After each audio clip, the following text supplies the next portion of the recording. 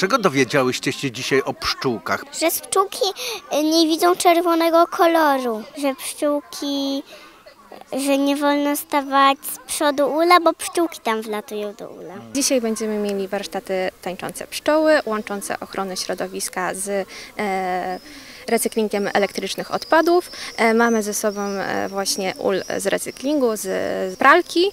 E, mamy również do zaprezentowania dzieciom opowiastki o pszczołach, o tym jak się komunikują, czyli właśnie przez taniec. Chcemy przede wszystkim pokazać, jak pszczoły poru- poruszają się w przyrodzie za pomocą gi- gier i zabaw, ale również tańca, czyli na przykład e, zumby, którą również będę dzisiaj prowadzić i rozgrzewki, która jest w tańcu nie, niesamowicie ważna.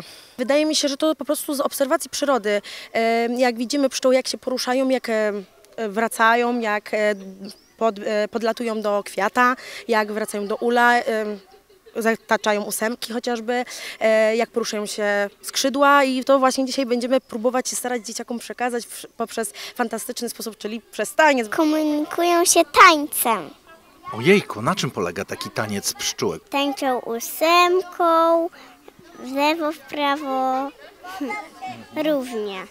A co to oznacza? Dlaczego one tak robią? Bo y, one nie umieją mówić, więc muszą się tak komunikować. To co to znaczą poszczególne te znaki u pszczółek? Że jak ruszają boczkami, to wiedzą, gdzie lecieć. A jak robią ósemkę, to inne pszczółki mówią im, że w okolicy jest pożywienie.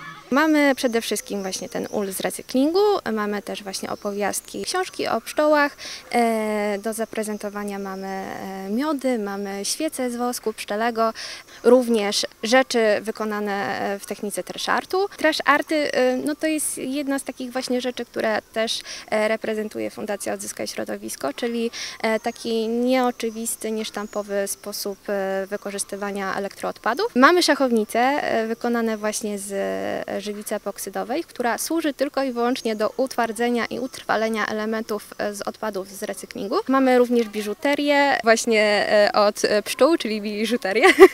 I ona też jest wykonana właśnie za pomocą żywicy i właśnie elementów elektrycznych odpadów. Przedszkolaki od najmłodszych lat, jak tylko trafiają do placówki, właśnie uczone są tych wszystkich zasad, bo wiadomo, że o środowisko musimy dbać, więc dzisiejsze zajęcia cudownie się w to e, wpisują. E, Dzieciaki są uczone w każdej grupie segregacji śmieci, tak jak widać też tutaj na placu zabaw, e, też segregują śmieci, posiadają taką też dużą wiedzę na ten temat i myślę, że e, będzie to owocowało w następnych latach, że one będą potrafiły e, dbać o to środowisko, żebyśmy żyli w coraz lepszym środowisku, zdrowszym po prostu, więc tych działań w przedszkolu jest bardzo, bardzo dużo.